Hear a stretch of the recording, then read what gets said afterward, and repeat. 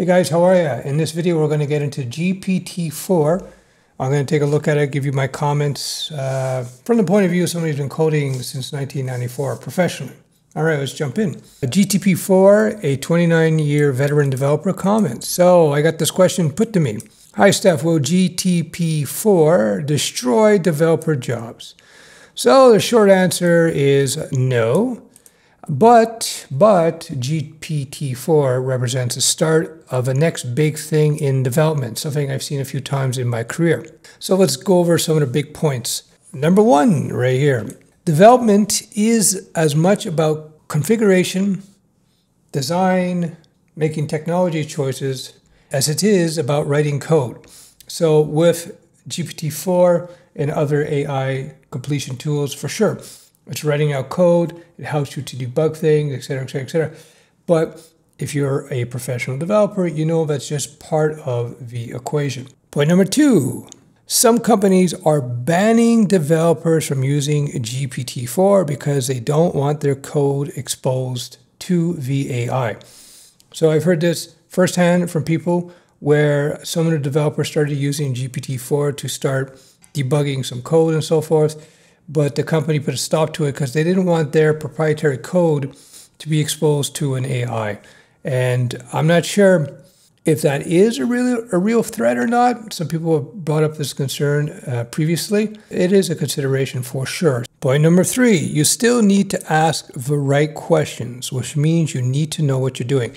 Now, in all the demos where you watch Chat GPT or GPT-4 write out a bunch of code, you see people asking the right questions. They know what to do. So you got to be able to write those. You be you got to be able to ask the right questions. These questions are asked by people who clearly understand what they are doing.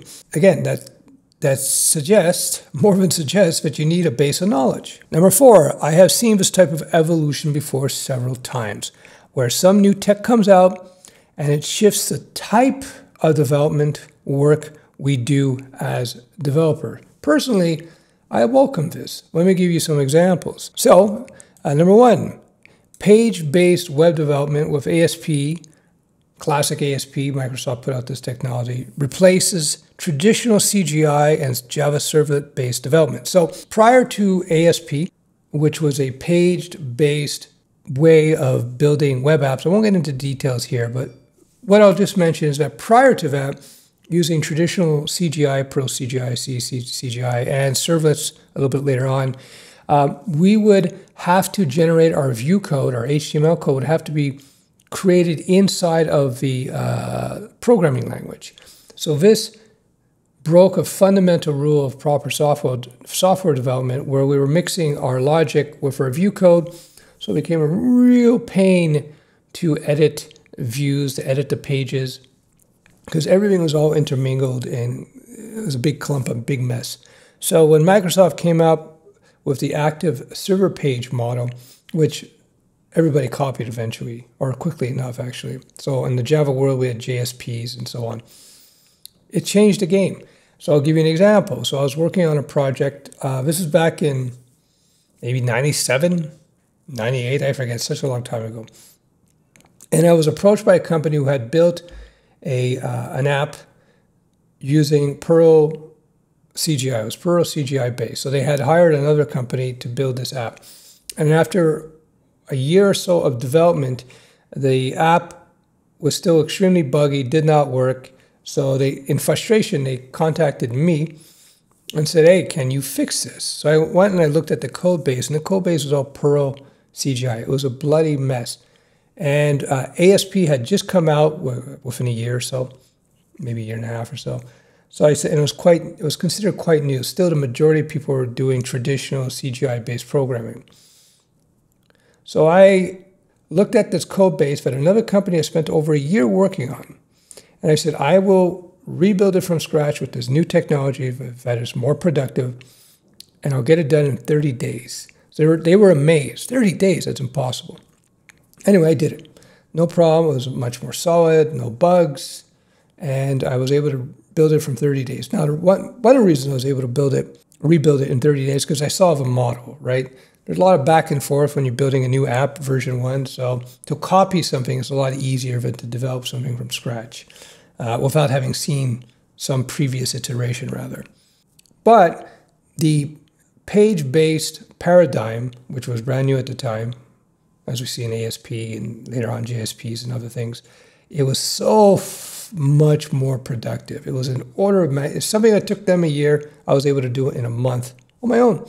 So, did that kill all the programmer jobs? No, it killed the Perl CGI jobs and the C CGI jobs, but the market was just beginning to explode. Example number two CMS is replacing static page development. So, a CMS is a content management system. The big ones are WordPress, Drupal, Joomla, and there are several others. Now, when CMS has started rolling out across the industry, all the people who were building traditional static HTML and CSS only pages started freaking out. Oh my God, we're going to lose our jobs because with a CMS, once it's set up and configured, users without any coding skills can just create new pages, add new documents, load up images, videos. You know, it's great. Again, um, it did change the face of development. We stopped building static pages in the traditional way, and we started building a lot of uh, uh, a lot of web pages that worked within the context of a CMS. So again, it just shifted the work over. It didn't replace and retire developers. Number three, web-based apps replacing thick client apps. So we're going to go back to uh, 95, 96. Now, prior to the web, people were building apps that ran on either Windows or Mac OS and a little bit of Linux. Now, web apps wasn't a thing. So, for example, Windows VB6, VB5, and VB6 was huge. If you had to, you wanted to build an app for uh, a custom app for your company, you would do it in VB. Uh, now, that was basically totally eliminated within several years, and everybody went to web based. Did it again? It killed the VB6 market and the thick client development market, although there are still people who do thick client development, but it didn't destroy development, it just shifted it again. Number four, smartphones changed the development market in two ways. Now, uh, more than two ways. People had to develop responsive websites. So when everybody started getting smartphones, iPhones, iPhones kicked it off really. Then everybody had to start, well, in terms of their web design, they had to develop responsive sites. Uh, then that caused, number point number two, that caused the rise of native app development. So first of all, that was uh, for iOS and then Android. Uh, so with iOS, you had to learn Objective-C, learn the uh, smartphone API, et cetera, et cetera. Same thing, the equivalent in Android world with Java a little bit later on. So again, it didn't destroy development; it just created a new uh, new areas in which we develop. With the rise of native development, it put even more of a stake into the heart of desktop and mobile and desktop development, uh, thick clients, because people were moving away from using their laptops necessarily to do a lot of browsing on the web and stuff, and they were moving to their phones. So that kind of changed things. It changed the way we built sites, and it put even a deeper stake into the heart of client thick client development. Uh, number three, the above two plus the web basically took away huge market share from the client development. Okay, I just covered that. Number four, HTML5 replacing Flash development and other plugin based platforms like Applets, Java Applets, Silverlight, and others. So in 2011 about or 2010 something like that uh, flash was prior to that flash was huge from the 19 i say from 2002 or 3 or 4 something like that to uh, well actually earlier than that in the 90s until about 2010 flash development was huge and the new technology came out html5 and uh, with the help of steve jobs flash development disappeared ActionScript was the language it's no longer used at all. It's, that's gone to zero. So again, it killed one aspect of development, Flash, action scripting, or uh, using plugin-based technologies like Applets and Silverlight, et cetera, and Flash. Uh, but it didn't destroy developers. It just changed what we did and how we did it. So all those ActionScript developers, they were pissed. They were pissed, but they just went on and did other things. So what does this all mean? It means development. Well, what does it all mean in terms of GPT-4 and other AI, it means that development will be less tedious and more productive. With AI, you can speed up the process, uh, clean up your code much more quickly. So I would, if I were to guess, depending on the type of development you do, it will increase productivity by 30 to 50%. This is just a number I'm guesstimating here. It depends on the type of development, what level you're at, and so on. But it's going to just improve the way we write code, and ultimately, it will improve the quality of the code. Now, this, all these other developments I, I mentioned before, like page-based stuff and CMSs, that just improves the quality of websites. As you look at websites back in the early 90s, mid 90s, early 2000s, you look at the quality of those websites versus what you can get now, you can get much more much higher production, much more, much higher quality website, much more productive developers today because of advanced technologies. So Chat GPT or GPT-4 or 5, whatever it is, whatever it gets to, and other AI tools are just a way of accelerating that. That's all.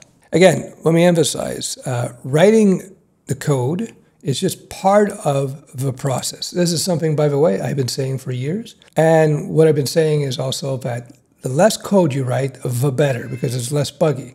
So this is nothing new. We've been using libraries and templates for years. We've been using code completion software for years. This just takes it an extra notch or two. So I say bring on GPT-4. Don't worry about it. If your employer allows you to use it, use it to learn how to code, so I have a mentoring program. I'm adding an extra module to it now where I'm saying you should uh, use GT, GPT-4 to continue to accelerate your learning of coding. I always I've talked about using Google, using good sites to learn this stuff, going into the docs, but G, GPT-4 takes it to a new level where you can get to answers more quickly. That's the key. At the end of the day, all the software development that we do is just here to save us time. It allows us to do things we couldn't do before, but at the end of the day, we're just saving time. So GPT-4 and any other tools that come out, you should embrace them, learn them, get ahead of the curve, use them to save yourself time and to write better code ultimately. I hope that helps. Bye-bye. My name is Stef, and if you want to learn how to code like a professional, I invite you to take a look at UncleStef.com. This is my very unique mentoring program and bootcamp, which takes total beginners and turns them into pro coders in record time. You'll be leveraging my unique platform that allows you to learn at your own pace, but you still get the live support and coaching sessions. So it's kind of a nice hybrid between traditional education, in classroom education, and you also have the flexibility of distance education. And you'll be learning from a veteran coder who's been coding professionally since 94, and somebody who has actually highly experienced in the teaching field. I've been working with schools since 2011 to develop curriculum and content to teach people how to code in record time. If you're interested, take a look at the links below. And finally, link below, you can check out the Discord channel. Over 3,000 members. I think it could be 3,500 members now. It's a great Discord channel, uh, well moderated, uh, lots of people from all different levels in coding. Very, uh, very fun uh, place to hang out with other people who are learning to develop, and people who are working on projects. So check it out below. The Code Long and Prosper Discord channel. Thanks for watching. Bye bye.